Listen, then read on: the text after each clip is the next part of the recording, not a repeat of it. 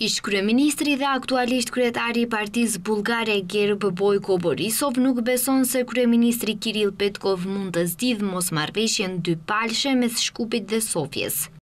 E shihni poshtërsinë, ai po përpiqet të organizojë fshehurazi diçka që do të dalë në publik. E shihni se po ndodh, por jo sepse ai është i keq, por sepse kështu ka vendosur parlamenti.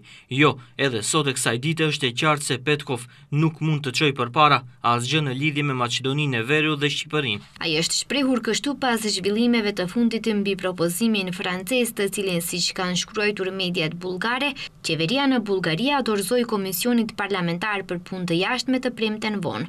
Borisov një ditë më parë ka theksuar se nëse nuk ka vendim të Kuvendit, nuk do të marrë vendim për heqjen e vetos për fillimin e negociatave të Maqedonisë së Veriut për anëtarësim në BE, Përndryshe propozimi francez i shumë komentuar këto ditë, pjesë e së cilës u publikua edhe në disa media, ende nuk ka arritur zyrtarisht në vendin tonë.